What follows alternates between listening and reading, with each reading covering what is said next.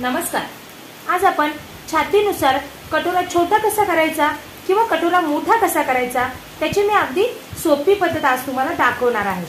चौकोनी कटोरा न बनवता रेग्युलर पद्धतीने जो आपण कटोरा बनवतो तसाच बनवायचा आहे पण तो मोठा कसा बनवायचा त्याची अगदी सोपी पद्धत आज आपण बघणार आहोत.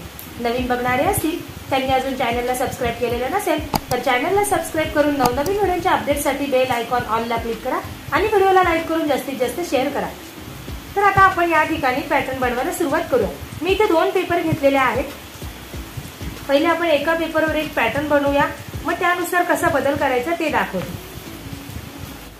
आता आपण या ठिकाणी छत्तीस छत्तीच्या मापाचं ब्लाऊज पेपर कटिंग बघणार आहोत. समजा छत्तीस छातीचा ब्लाऊज आहे पण त्यांची कप साईज कटोरा छातीचा आकार खूप मोठा जर असेल तर तो कटोरा कसा मोठा करायचा? ते बघणार आहोत. त्यासाठी आधी आपण छत्तीस छातीचं पेपर पॅटर्न काढूया. सुरुवातीला इकडनं दोन इंच अंतर सोडून द्यायचं. हे दोन इंच अंतर इकडनं सोडून मग आपण पुढे पॅटर्न टाकणार आहोत. हे अंतर पट्टीने जोडून घ्यायचं.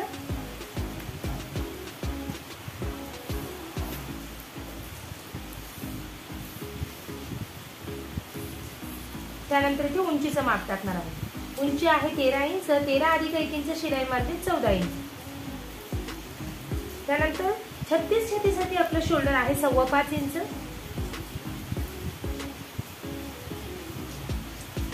हे झालं शोल्डर. त्यानंतर मुंडा खुले आहे साडेपाच इंच.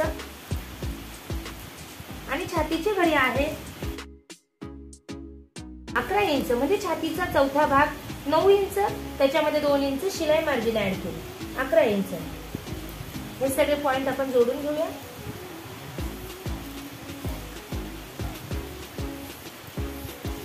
हे इकडे कमर घेण्याचं अंतर टाकण्याची काही गरज नाही सरळ मार्किंग केलं तरी चालेल. पण कमर जर बारीक असेल तर तुम्ही कमर घेण्याचा चौथा भाग अधिक दोन इंच शिलाई मार्जिन आणि एक इंच टकसाठी असं मार्किंग केलं तरी चालणार आहे. छत्तीससाठी आपल्याला गळापुली घ्यायची आहे अडीच इंच.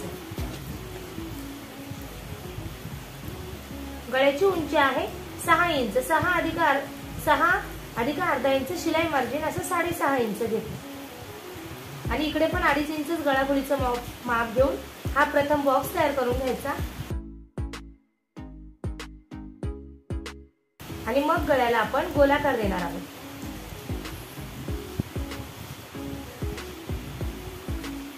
हा गळ्याला गोलाकार देऊ.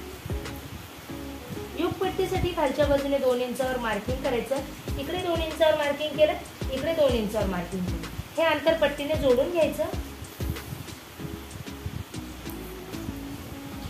मग या ठिकाणी इथून वरती दोन इंचावर एक मार्किंग करायचं. गळ्यापासून हे अंतर जोडून घ्यायचं. त्यानंतर इथे कटोरी राऊंड टाकायचं. चार्टनुसार छत्तीस छत्तीससाठी कटोरी राऊंड आहे पावणे आठ इंच. मग इथे आपण कटोरी राऊंड टाकला. याचा मध्य करायचा. मध्य म्हणजे टेप दुमटून घेतला मध्य म्या या ठिकाणी मध्य आला इथे आपण पट्टीने हे जोडून घेऊया. मध्यापासून खाली दोन इंचावर मार्किंग करायचं. हे तिरकस जोडून घ्यायचं दोन्ही बाजू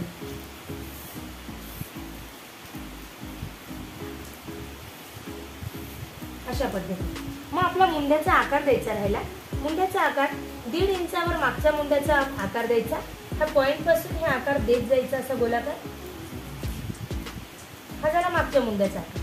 पुढच्या मुंड्याच्या आकारासाठी इकडे एक इंचावर मार्किंग केलं इकडे एक इंचावर मार्किंग केलं. या अंतराचा मध्य केला.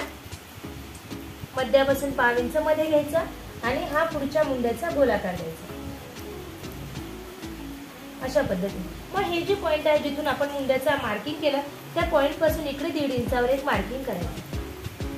आणि कटोरीला गोलाकार देऊन घ्यायचा.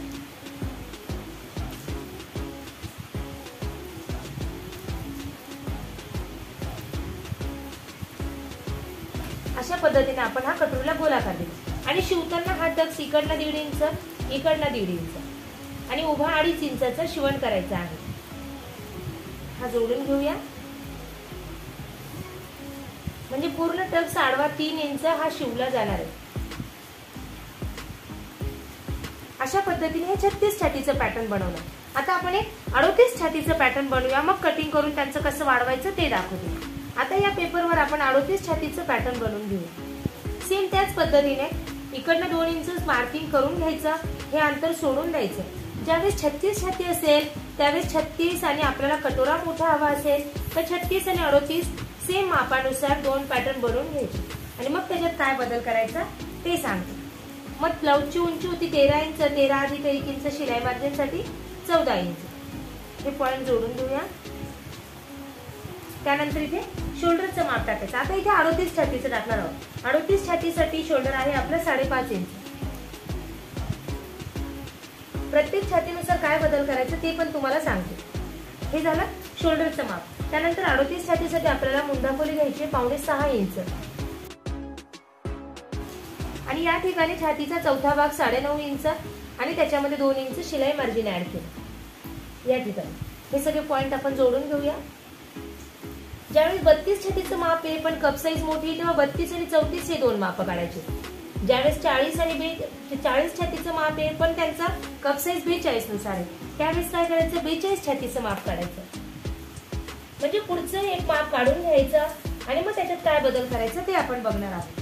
मुंड्याचा आकार देण्यासाठी दीड इंचावर मागचा मुंडा. हा मुंड्याचा गोलाकार द्यायचा. त्यानंतर पुढच्या मुंड्यासाठी इकडे एक इंचावर मार्किंग. इकडे एक इंच मारतील. सेम प्रत्येक वेळेस मुंड्याचा आकार देण्याची हीच पद्धत आहे. बोटनेकमध्ये फक्त थोडा बदल होतो. मग आपण हा आकार जोडून घेणार आहोत. हे जे पॉइंट देत हा मुंड्याचा गोलाकार त्यानंतर इथे गळाखोलीचं अंतर टाकायचं. अडोतीस छत्तीससाठी आपल्याला गळाखोली घ्यायची अडीच इंच. गळ्याची उंची आहे सहा इंच. सहा अधिक अर्धा इंच शिलाई मार्जिन साडेसहा इंच. सेम तीच मापं टाकायची जी आपण आता छत्तीस छातीला टाकली होती ना सेम तीच मापं मी याच्यावर टाकणार आहे. आणि काय बदल करायचं ते आपण कटिंगमध्ये करणार आहोत. या ठिकाणी गळ्याला आकार देऊन घ्यायचा. मग त्यानंतर युगपट्टीसाठी खालून दोन इंचावर इकडे एक मार्किंग केलं इकडे एक मार्किंग केलं. हे अंतर आपण जोडून घेणार आहोत. जोडल्यानंतर इकडनं दोन इंचावर वरती मार्किंग केलं इकडनं गळ्याकडनं जोडून घेतलं हे मार्किंग त्यानंतर आता इथे अडोतीस छातीसाठी आपल्याला कटोरी राऊंड घ्यायचा आहे आठ इंच. हा कटोरी राऊंड टाकला आठ इंच. याचा मध्य केला.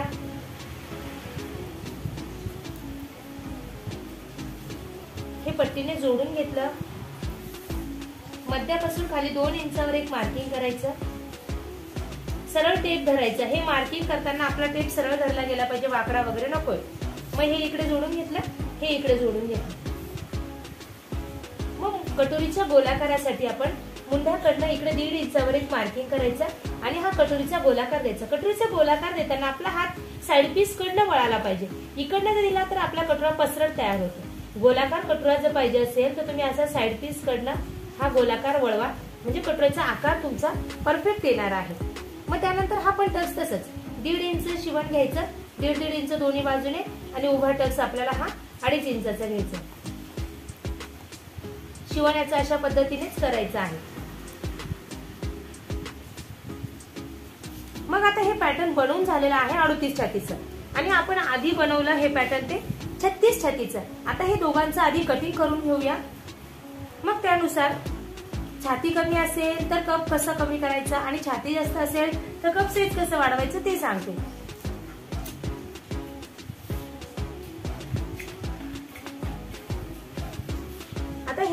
आहे अडोतीसच्या मापाचा आहे. हे पहिले कटिंग करून घेऊया.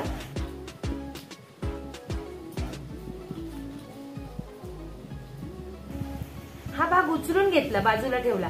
आणि मागच्या भागातून हे जे दोन इंच वाढवलेलं होतं हे कट करून टाकलं.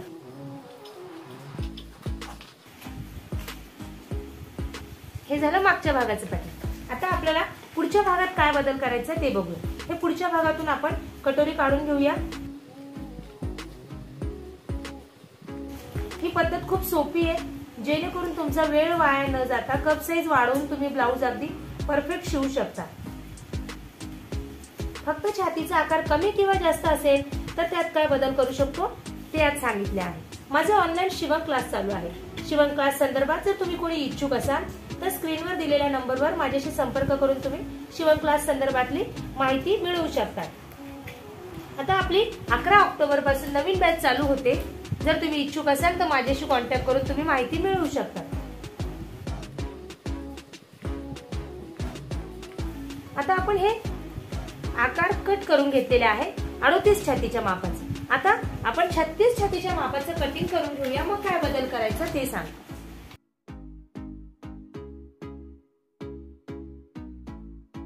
आता हे छत्तीस छातीचं माप आहे. त्याचं पण सेम तसंच कटिंग करून घेऊया.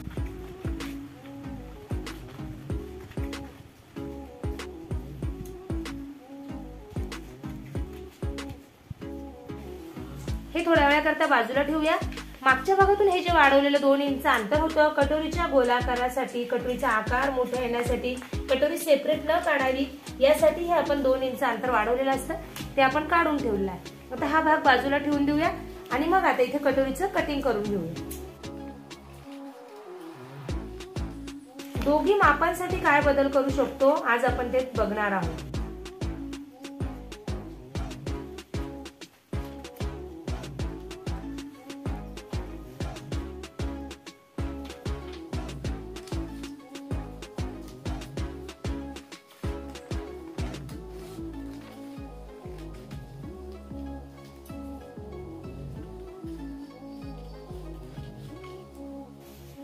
आता हे आपण छत्तीस छातीच्या मापाचं कटिंग केलेलं आहे. आणि योगपट्टीचं पण आज मी तुम्हाला कटिंग याच्यामध्ये दाखवणार आहे. हे अडतीस छातीचं माप आहे हे छत्तीस छातीचं माप आहे. आता बदल काय करायचं ते सांगते. समजा तुमचं छत्तीस छातीचं माप आहे पण तुमचं कप साईज मोठी आहे. त्यावेळेस काय करायचं? हा छत्तीस छातीचा फक्त कटोरा काढून बाजूला ठेवायचा आणि अडतीस छातीचा कटोरा काढून तुम्ही या ठिकाणी जोडून घ्या. तुमचं ब्लाऊज अगदी प्रॉपर येणार आहे. कटोऱ्याची साईज मोठी होणार आहे फक्त. आणि ब्लाऊज अंगात अगदी परफेक्ट बसणार आहे.